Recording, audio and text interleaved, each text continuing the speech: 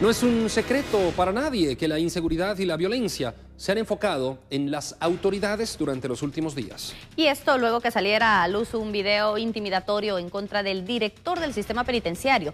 Todo porque los pandilleros están inconformes por ser trasladados a otra prisión.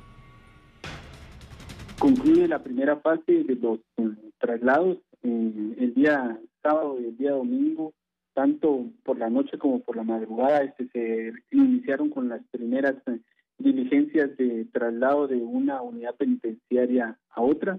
Se concluye hoy con el traslado de 164 privados de libertad de la cárcel de Fraijanes hacia eh, el, el infiernito.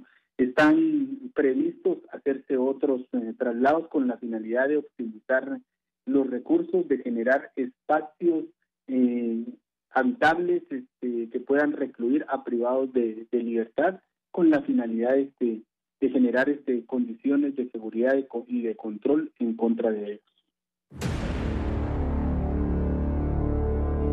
De esta manera, autoridades anunciaban el traslado de 164 reos, entre ellos 23 peligrosos jefes de pandillas de una cárcel a otra, para mayor seguridad ciudadana. Pero la medida causó enojo y molestia a los reclusos, pues aseguran que quieren quitarles el control de las prisiones.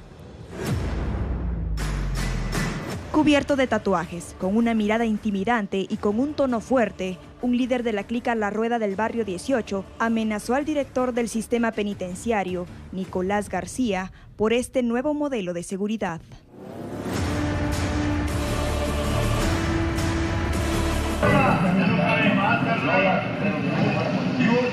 Nicolás?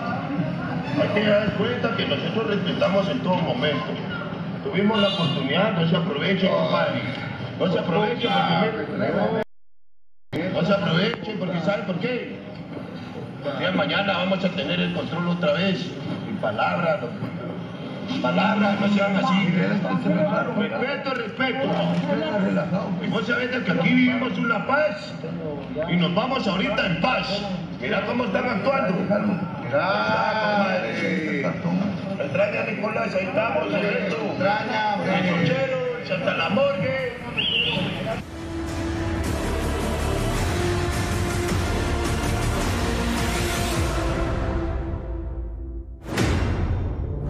Los pandilleros advirtieron que volverán a atacar en cualquier momento, pues ellos tienen bastantes integrantes afuera de las celdas, muchos encargados de extorsiones y asesinatos contra comerciantes y pilotos.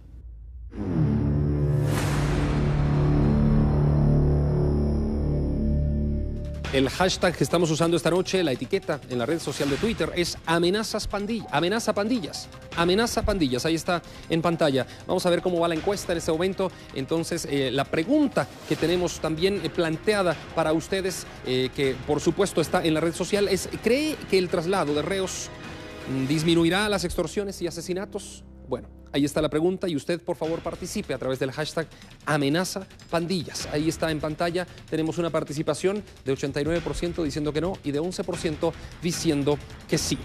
Bueno, y es que el traslado de reclusos fue irregular en esta jornada hacia la torre de tribunales, provocando el retraso de varias diligencias. Mañana vamos a tener el control otra vez. Palabras, palabras, no sean así. Ante el claro e intimidatorio mensaje de jefes de clicas del barrio 18, las autoridades del sistema penitenciario suspendieron el traslado de los reclusos a torre de tribunales. La medida también abarcó cancelar audiencias de alto impacto nacional, donde involucran a exfuncionarios, como los casos de la limpieza del lago de Amatitlán o el caso La Línea.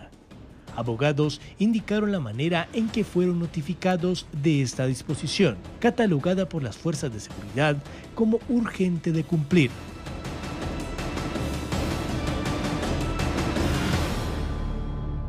Me presenté en horas de la mañana para verificar la, misma, en la cual me informan que han tomado la decisión de suspender la diligencia, eh, esperando señalar nueva fecha.